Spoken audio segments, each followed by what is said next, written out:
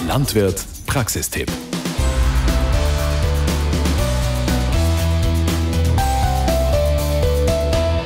Herzlich willkommen zum Landwirt Praxistipp. Jeder Landwirt weiß, Klauenpflege ist wichtig. Klauenpflege ist eine Tätigkeit, die oftmals hinausgezögert wird.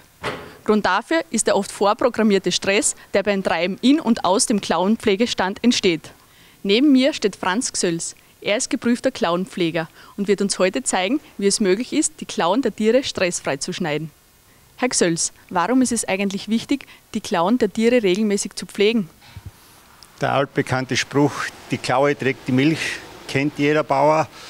Aber dadurch, dass es Stress macht, die Kuh in den Klauenpflegestand äh, zu bringen, dafür scheut jeder Bauer und schiebt die Arbeit so weit als möglich nach hinten.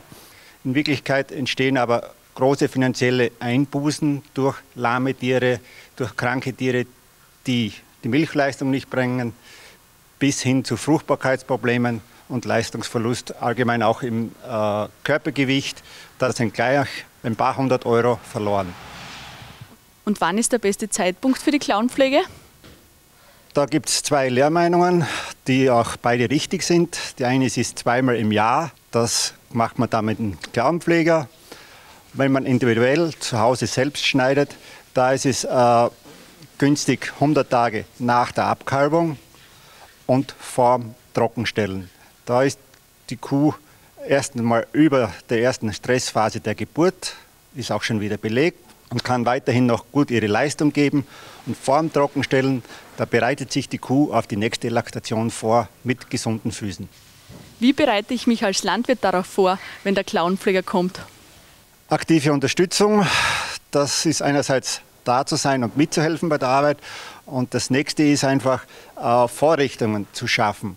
Vorrichtungen in Form von Weidepaneelen, wo man Bereiche abtrennt oder wie es wir heute mithaben, mit unserer Ausrüstung einen Gang aufzustellen, in dem die Tiere zügig zum Klauenpflegestand nachgebracht werden können. Und wo baue ich den Klauenpflegestand am besten auf? Wir arbeiten im Stall, im Wohnzimmer der Kuh. Und da versuchen wir eben Bereiche zu schaffen. Äh, einen Wartebereich, einen kleinen, wo vier bis fünf Tiere Platz haben. Dann einen nennt Staubereich, wo die Tiere in Linie hintereinander stehen und warten auf die Arbeit. Und für den Bauern ist auch noch wichtig, dass er versucht, zwei Bereiche zu schaffen. Die eine ist eben die ungeschnittenen und die fertigen, die hier in den Liegebereich kommen und damit gibt es keine Vermischung und es geht recht zügig ab. Im Anbindestall habe ich ja keine Laufgänge. Wo baue ich den Klauenpflegestand dort am besten auf? Da müssen wir dann natürlich vorn draußen arbeiten, aber auch hier gibt es einfache Hilfen. Äh, wir machen das häufig so, dass wir im Stall mit Paneele einen Eck abtrennen, wo wir die Kühe ohne Strick, ohne Anfassen hinbringen können. Meistens zwei, drei zusammen. Die gehen zu dritt eben lieber. Und aus diesem kleinen Bereich kommen sie wieder in unseren Wartebereich, wieder in unseren äh, Gang, wo sie stauen, wo sie nie angefasst werden, sich beruhigen können. Und dann geht das Tor auf und es ist genauso einfach und schnell erreichbar im Anbindestall. Sie haben zuvor erwähnt, dass die aktive Mithilfe des Bauern wichtig ist. Was soll der Bauer genau tun? Die Klauenpflegearbeit machen wir. Der Bauer ist zuständig für das Nachtreiben der Tiere, dass immer eine Kuh schon parat steht im Wartebereich. Durch diese Gitter, durch diese Vorkehrungen ist es auch leicht möglich, zügig, sagen wir mal alle fünf Minuten, eine Kuh parat zu haben.